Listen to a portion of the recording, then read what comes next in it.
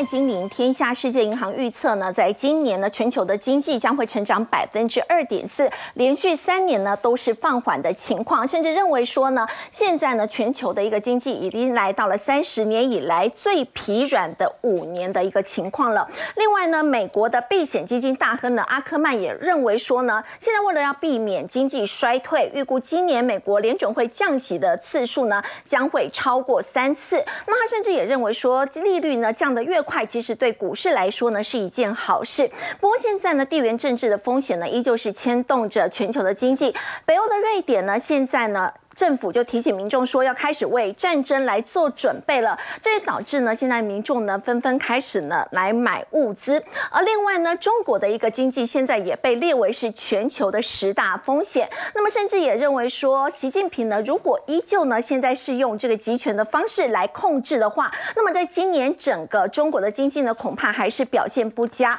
那么在选后呢，台股在今天开盘呢一度是有上演卸票行情，在早盘的时候呢是上涨了一百二。二十点，不过在尾盘这个涨势呢是有收敛，最后以上涨三十三点做收，在短时间还有机会来挑战万八吗？我们在今天节目现场为您邀请到李博亚太区研究总监冯志远，大家好；资深分析师陈威良，大家好；资深分析师许峰路，大家好；资深分析师陈志玲，大家好。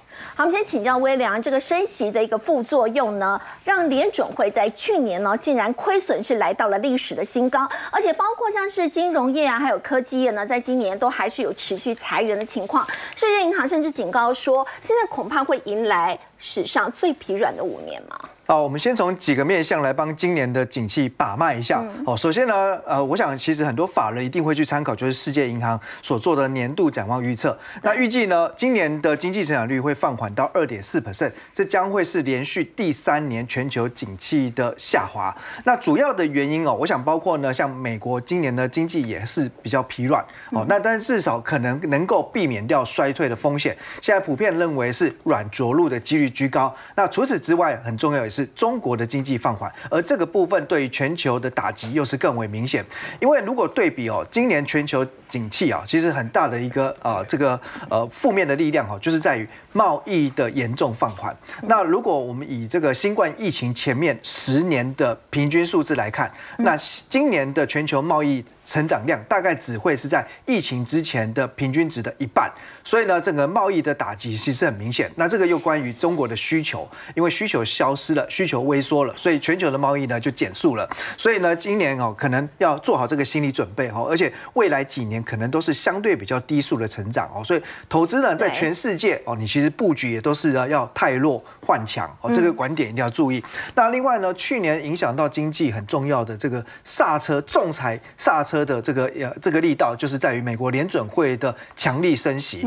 那这个升息其实呢，呃后坐力呢也影响到联准会自己本身。对，好，那因为就公告出来哈，去年整体的营业亏损是来到了一千一百四十三亿美元。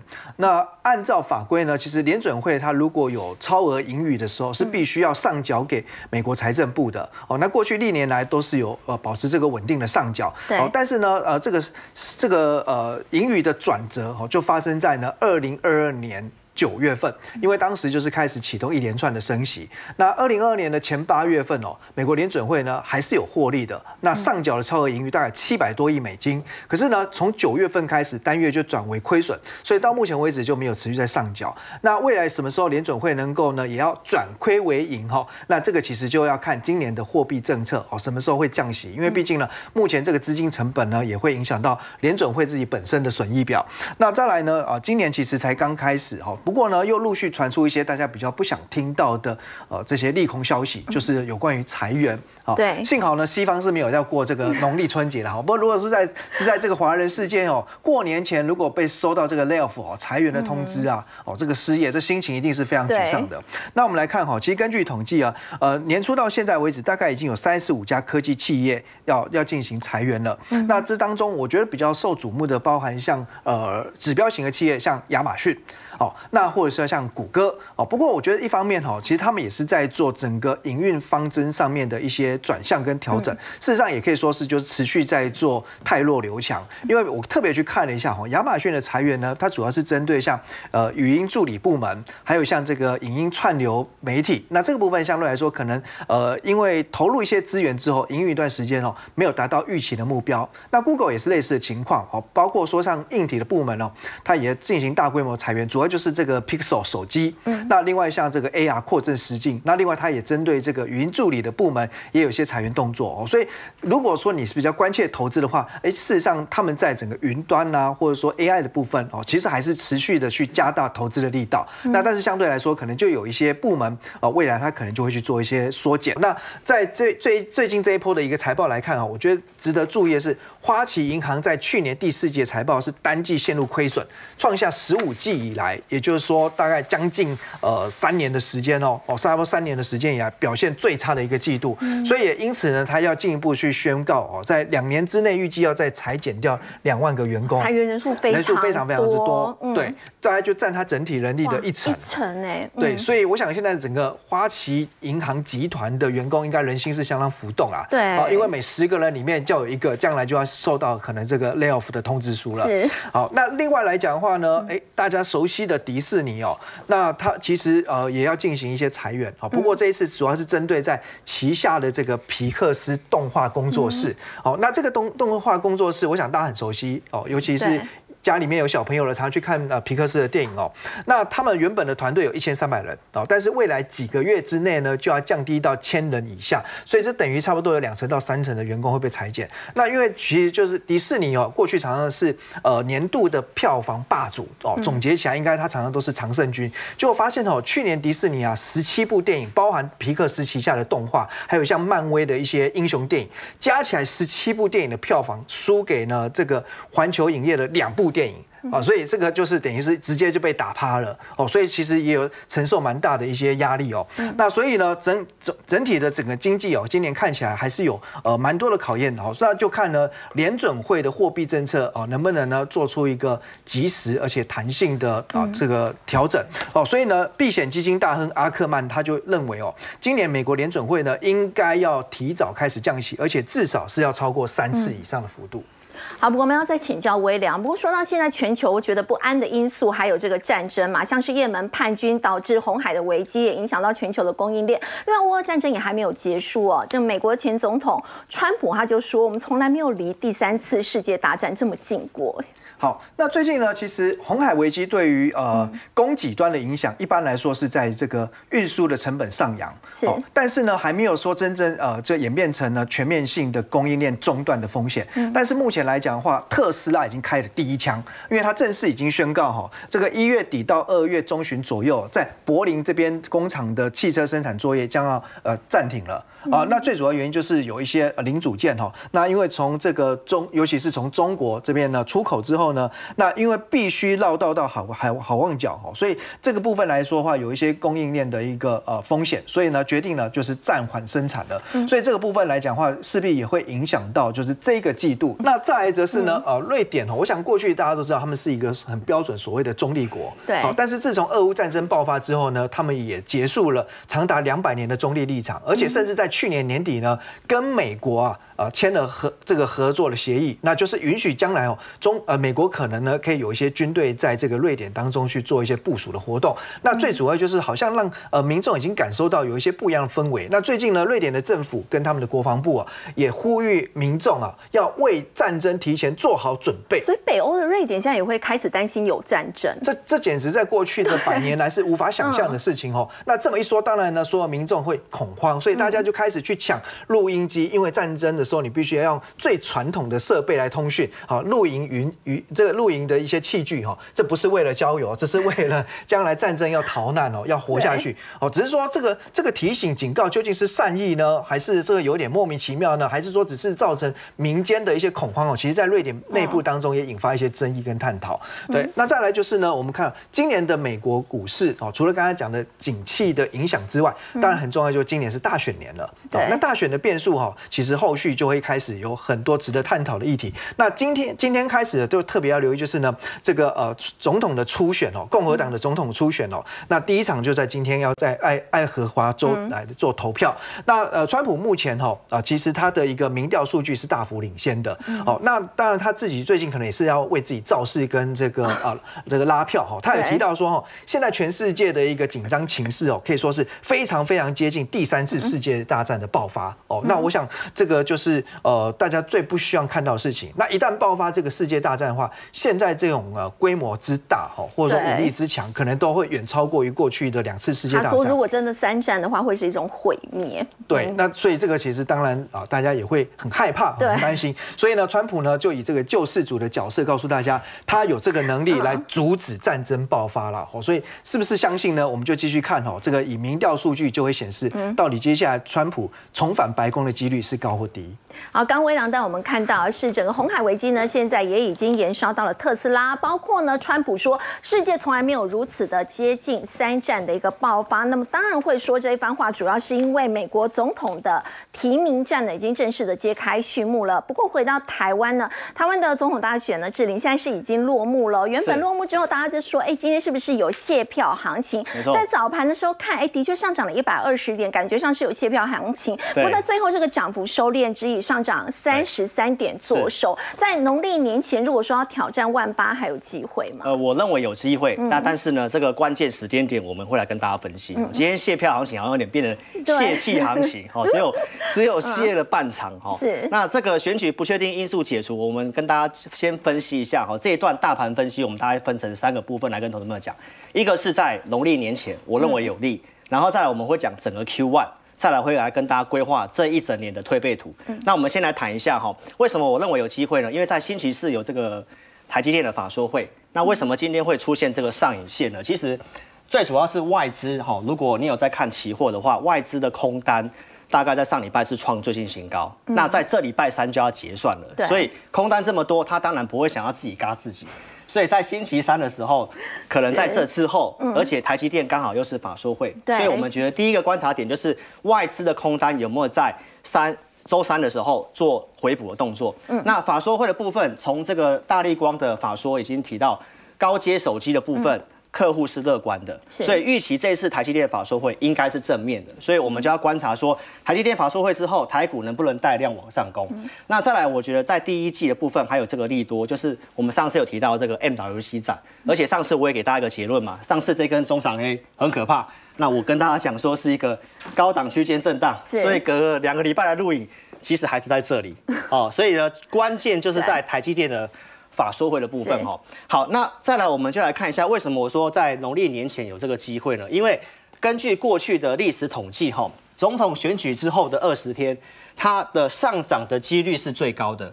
虽然它的幅度呢不是最大的，但是根据统计，大概是十五天到二十天上涨几率高，而且幅度是不错的。但是在二十天后可能会慢慢跌。那我们从现在来看的话，二十天后刚好是农历的一个放假的时候。哦，所以在农历年前反而是还不错的一个买进时还是有这个机会。我认为第一季会先见到短线高点，然后开始回档，但是年底会往上。所以凯基投顾看法跟我大概是一致的哈，就是第四季他觉得有机会挑战两万点，但是你必须要特别注意，避开第二季跟第三季可能会季节性的一个回档。好，所以支撑的部分回撤一六六零。零没有错，所以我认为说农历年前有机会往上拉，但是我是建议大家这一次你可能要减码，不要报那么多股票过年，因为第一季如果这个 MWC 的这个高潮出现的时候，是。如果指数那时候开始都没有再过高的话，那你要注意二三季可能会回档这样子。哦，不过在农历年前还是很有机会哦。不过在这一次我们说到这个执政党是胜选了嘛，那么接下来我们可以看到相关的族群，大家到底该怎么样挑股票，怎么去布局？那么在今天其实很明显看得出来，有一些族群已经开始演出庆祝行情，不过有一些这个卖压还真的蛮大。只有庆祝一半哦。好，那我刚刚提到说，我们盘势分析，我们现在是跟大家谈农历年前，我觉得还有机会。所以这里的操作先跟大家谈，我们先以短线的操作来跟大家谈。那既然执政党胜选，它会有些庆祝行情，但是其实今天有些股票涨，但是其实当然也会有些失望性的卖压。对。那我们来跟大家分析一下，就是说按照目前立委的席次，因为这次。呃，原本执政党没有全部都没过半，对。那这个民众党它是关键的少数，就是有八席，所以是呃，民众党的一个到底最后是支持谁就会很重要。所以这里面来讲的话，第一个我觉得呃分成有利的行情。当然，半导体我们刚刚已经讲过了，因为先进半导体台湾是独霸全球的，所以基本上今天半导体都还可以维持上涨。嗯，再来我们来看一下，当然大家今天胜选都会认为原先执政党的政策，像军工啊、重电啊、生技、太阳能，应该都有机会涨。那今天政策渴望延续下去。对，但是这里面其实藏了一些玄机来跟大家讲，我们要重点是后面还要有延续力，不要说只庆祝一天。好，那我我认为在军工航太的部分会有。会有利。哦，因为刚刚斐鱼也提到，其实今年地缘政治跟战争是非常的呃危险的。哈，所以当然这边来讲，我刚刚提到，因为民众党是已经是第三势力了，他个人是支持国防预算会提高，是，所以原先的这个我们的国机国造原先绿营的政策的部分是有机会延续的，所以这里面军工航太，比如说雷虎、宝一、亚亚航跟汉翔这些股票的话，今天虽然没有涨。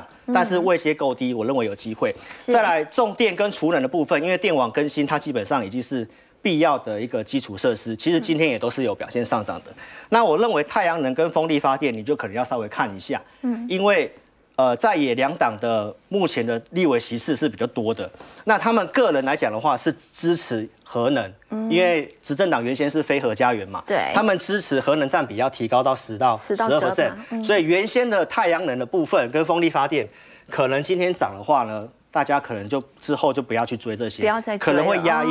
那生计的话，也是因为立委席次的关系，再生医疗法的草案还躺在立法院，对，还卡关。哦，所以这方面的话，如果没办法获得在野支持，可能将来还是有些变数。所以生计股要还是也要先稍微保守一下。今天虽然有涨，但是就是提醒大家，这些股票你可能是要不要用追的方式哈。那再来就是讲不利的，不利的话就是原先大家在呃蓝营这个部分，哦，叫大家期待说，哎，陆客有机会来台啊，消费好弱。没有错，所以观光你看，像这个呃雄狮今天就跌五趴，凤凰大概跌五趴左右。那原先的饭店跟航空这些基本上就是比较偏弱的。对。那另外不利的就是呃这个 A 克法的部分，好，因为 A 克法已经对岸已经有放话说可能要。哦，取消这个关税的部分，那当然他们已经有先跌过了啦，只是跟大家讲，这些不利的跟中性的可能暂时性先不要碰，你可能要找这些有利的部分去做个操作啊。在农历年前，你可能要先锁定低基期跟政策延续的，就是我刚刚讲那些有机会延续的。好，那一样，假设重电有机会的话，那我们就来看相对低基期的大雅。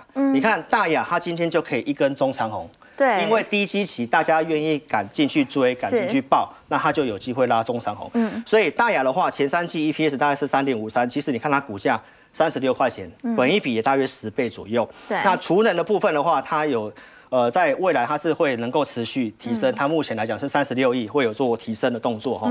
再来我们看军工的宝一，那其实也意意思是一样，你现在要找这个低位接整理过的，而且刚刚出量的。哦，所以这个方面的话，它虽然今天没有涨，但是相对低基期，你不妨可以去做布局。那它全年营收年增已经是一百多 percent 了，财报也是由亏转盈，所以这方面我觉得军工里面我们帮大家挑这个是站上所有均线的。再来是雷虎，它因为它有拿到政府的标案，所以无人机的部分也是现在战争的主轴，几乎都是用无人机在打哈，所以股价也是经过长时间的整理，那今天也是跳空往上涨。那这两档低基企的军工股，我觉得投资朋友可以做个参考。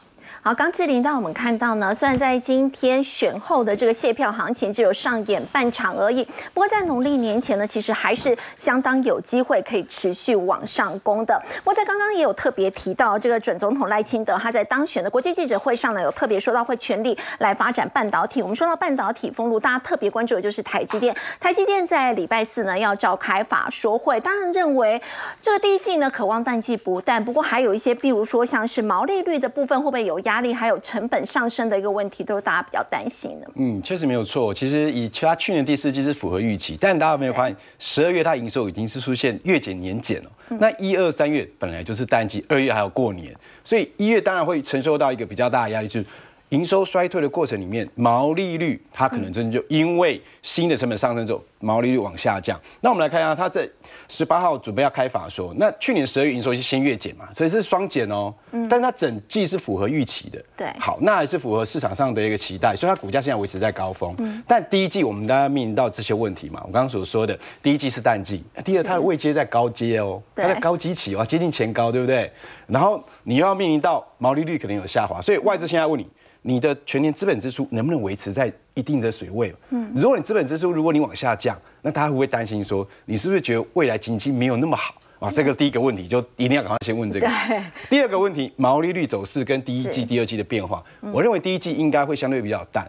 哦，那可可能往下调一点点，那第二季就逐季往上走，第三季、第四季应该最高的毛利率应该还是有机会落在第三季跟第四季这之间。好，那个是我认为整个走势。那英特尔的先进制程很猛嘛？其实我看我我的看法还是哈，雷声大雨声小。哦，它还是一只纸老虎。好，虽然说它现在已经取得了二纳米的设备，取得五台最新的二纳米设备，其实是艾斯摩尔是直接交给英特尔，而不是给台积电哦。但给他也没有用，老实讲，他也没办法有效的量产，所以我也不担心哦。所以短时间先进制成的部分的话，还是没有办法超越。对，最起码还有两年，我认为一定还有两年。那大家比较关心刘德英宣布今年退休嘛？对。其实我这我我认为他这个退休的原因，主要是在于他在美国的投资太过于快速，太过于激进。对。哦，那因为你看他现在美国还有建厂的问题，然后还有工会的问题，我觉得最大的关键在于台积电能有这么好的一个表现。主要是因为我们台湾老公实在是太卖干、太用心，对不对？每天二十四小时工作，确定他们补贴拿不拿得到这样子。但是他到美国去，美国人可不跟你讲这一套。我时间到就要下班，你半夜就不要来找我了。你在台湾只要任何问题，那半夜工程师一定都起来帮你做解决。我觉得这会比较。比较问题比较的大的状况，所以刘德英宣布退休，其实这是蛮快的一件事情哦。对，所以这主要我认为是针对于美国的投资。股东会之后就会退休，没有错。这主要针对美国那部分，我觉得是在做一个负责。再来，你看先进制程，来这个我是觉得我们才有真正投资的机会在这个部分。先进封装，先进封装哦，我先跟大家来讲，现在台积电的技术已经来到二纳米喽，它其实已经在试产喽，它只是没有量产而已哦。那我们要去想是，我现在所看到最新的数字，二纳米的成本比三纳米要多百分之五十。简单来讲，一片十二寸的晶圆，现在台积电制造大概是两万美金。嗯，可是，一片十二寸用二纳米制成制制成的话，它要三万块美金。哇，多了一万美金，多了一万美金，多了五十的成本哦。对，但速度快多少？十趴到十五趴。感觉好像不符合面积，面积啊！过去我们想三纳米变两纳米，那你面积应该整个面积应该要缩小百分之三十三嘛？三纳米变两纳米，对不对？结果没有，大概十 percent，面积只有缩到十 percent。然后同样的功率是这样，你也大概就增加大概二十五 percent。那如果是这样，好像划不来，成本多五十趴。效能看起来好像是多十到十五趴，嗯，而且大家在想，继续往再先进的制程变一纳米的时候，你会在二纳米其实就已经有个问题，就是因为你的这个晶圆太薄了，电子打过去的时候，电压强一点会怎么样？会击穿，那这个晶圆就废掉了。也就是说，你在大电压的情况之下，你的晶圆可能没有办法承受。那也就是说，你再往下面做制程意义不大，嗯，所以它现在就要变成是你要考虑什么？先进封装。所以今天相关的股票都很强，也有人攻到涨停，但是比较小值。来，这个是我们等下来看，要看股票就要看这里了哈。然后再来就是半导体产业景气复苏观点，其实没变嘛。去年就告诉你了，不过去年是第二季的时候告诉你说要落底，第三季会落底，第三季告诉你第四季落底。但今年有没有落底？目前从大多数的产业来看的话，不管是手机、PC 还有 AI，应该已经是正式都落底了。包包括连面板、记忆体这些景气循环股都落底了。所以我认为这倒没有问题啦。那智能产能利用率的部分的话，应该就是逐季的往上升，这应该当然没有多大问题。全年营收应该还是大成长，十五到二十 percent。那这是我们市场上所预估的嘛？第一季 目前还是两百八到三百，所以法说只要符合这个区间哦，股价大概就是震荡整理。其实还是维持在高档的，还是维持在高档啊。对，那第一季营收就衰退嘛，对，季减比去年第四季减一点，但第年四季第去年第四季是历史高峰嘛，嗯，所以减一点还是合理的。毛利率啊，这个是在法人最担心一到五十二趴，这算低标哦，这算低标哦。全年营收还是一样嘛，增加十五到二十，毛利率全年会估到五十三，也就是说第三季之后毛利率整个拉起来，整个往上拉。对，第三季开始会拉起来，EPS 三十五点六到三十七点五，其实差不多，大概就是这个位置，也是比去年大再来做一个成长。台积电我们看就十五十五到二十 percent，这是今年嘛，对不对？营收，但获利。可能会走的有点不太如市场预期，毕竟啊，毛利率的没有办法往上再快速拉高。可是供应它设备的，在今年其实机会都非常好。嗯，比如比方来讲，我们去年其实，在四五月的时候，我们就聊过嘛，先进先进封装，当时候的红硕从三百多块一路走到七百多。好，去年的七月来到七百多之后，它已经拉回走休息整理非常久。你可以看到股价其实基本上站上季线之后啊，这个就是我们常常讲过季线转成多头，但是因为它整个量能不够大，所以它突破之后它还会拉回来测试季线附近，在这个位置我认为都有机会往上走。你看它量真的不大，对但价格可不便宜哦，今天是五百多块哦。是好，那它是国内的半导体湿式设备的第一大厂。主要客户有包括台积电、日月光，还有呃这个艾克尔等等。那这是全球前六大的封装测试的供应厂，它都有。哦，它其实是国内第一大龙头厂商，但是它就是因为成交量比较小，所以大家要先去留意。哦，包括说它连记忆体的部分，它有许多相关的一个封装的测试的订单，哦，封关设备的订单哦。所以这个是一个领头羊，但它比较适合做一个观察指标，因为量太小。那量比较大的是跟它一样有做湿神设备，而且也开始正式出货的。星云对，星云它去年的股价也非常高，大概两百多块，现在股价也在两百出头。但你可以看得出来，它营收其实已经先拉上来了。对哇，年增率三成以上，对年增已经到三成的营收，去年十二月，嗯，今年会更多，嗯。今年成长数是非常明显，但它股价也在季线附近，是。啊量啊稍稍出来一点点，量还不够大，嗯。量还不够大。好，现在是两千三两千三百多张哦，今天的这个成交量大概是这样，但我认为它量会继续放大，所以在量没有放大之前，这个可不可以布局？可以。哦，那这个就是我们讲的十四层设备的，就长这个样子啦。是好，不管是星云还是、还是这个红树，大概就长这个样子。好，那个稍微看一下，那这个位阶还是相对低，没有爆量就没有风险。什么时候什么为什么没有爆量没有风险？因为爆量就是有大量筹码进行交换嘛。对那你在底部，现在量也不大，大家没有注意到，所以你去布局它，我认为这个都是会有机会。可以观察它成交量没有爆大量的话，就是相对比较安全。都能够持续在涨。那最后的话，我觉得爆发力会比较强是这一档，为什么？这是万润哦，它以前是做面板设备，但它已经转型了，做成半导体设备。这个是它最有名的，叫点胶机。嗯，然后包括说它还有像说贴合量测，还有 AOI 检测的这个设备，这都是属于在 CoWAS 的先进封装。重点是它十二月营收也跳起来了。来哇，刚刚星云是三十三 percent，对它多少？一倍以上，嗯所以它股价怎么样？对它今天是有创新高，是但创新高的量有没有很大？嗯，也没有哦。是所以我认为接下来应该是以它来当做一个操作上的主轴。一般投资没有在操作整个半导体族群，我觉得到礼拜四之前，这三档个股都应该都有往上攻的机会。爆发力最强，我认为会是万润，因为价格相对便宜，而且营收已经在去年十二月快速的一个成长，年增超过一倍。那一月份、二月份还是一个出货旺季，我认为应该可以营收维持高档，就连股价三档里面最亲民，一百多块。然后呢，它的张数成交量也比较大，我觉得法人跟中实大户往这个部分在找寻哦、相关个股的话，我认为万润应该反而最有机会。好，刚封路段我们看到台积电在这个礼拜四十八号要召开法说，那么这几天呢，相关的先进封装的概念股呢，可以持续做留意的。不过我们说到在元月份呢，另外一个观察的这个重点就是 ETF 的元月除夕秀哦，这个礼拜就开跑了，要请教冯总监哦，在这一次六十一档除夕。不过我们说到高股息的 ETF，这个殖利率缩水是不是已经成了定局了？因为金管会寄出平准金的发放四原则，以后如果说要轻轻松松拿到这个十趴的配息率，是不是会变得比较困难呢？好，我们分两个部分哦。国内的 ETF 市场真的非常的夯哦。那么目前来讲呢，总规模已经达到将近一点四兆这样的一个规模。那么一月份呢，还有高达六十档的 ETF 哦，都要进行除息哦。嗯，那我们看这林林总总这样子看起来的，我们还只是列列前面的，而且呢是一月十七号呢是最热门，是黄道吉日，有超过十档以上的这个 ETF 呢要进行除息哦。那当然，我觉得对投资人来讲最吸睛的，大家大概就会看这个年化值利率哦。对所以呢，我们这个从前面排下来，那大概从零零七七零一路下来呢，基本上到第十名呢，普遍来讲大概都有在将近七个 percent 或以上这样的一个水准哦。那在这里面呢，我想就是说这么多要配息的这个 ETF 呢，当然也是给投资人一个大红包。这里面呢，我点了四档。啊，我觉得个人觉得说比较有看头，大家可以留意的哈。那么第一档呢是零零七七零的国泰北美科技哦。那这一档你会发现，他说，哎，他公布股息之后啊，啊，成交量真的就是非常的热。